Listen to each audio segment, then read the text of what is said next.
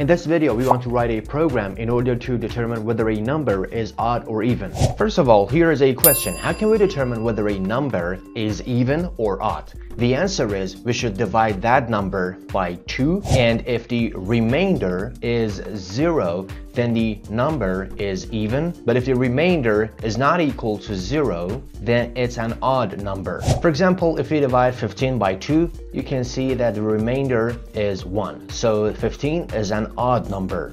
Another example if you divide 8 by 2 you can see that the remainder is 0 so 8 is an even number. But how can we calculate the remainder in Python programming language? In order to do so, we should use the modulus operator. For example, here we write 15 modulus operator by 2 and it results 1, which is the remainder of dividing 15 by 2. So first of all, we want to define a variable called number, which the user is going to input a number and we convert that into an integer number, then we simply calculate the remainder of dividing that number by 2 and we put all the stuff in a variable, let's say called remainder.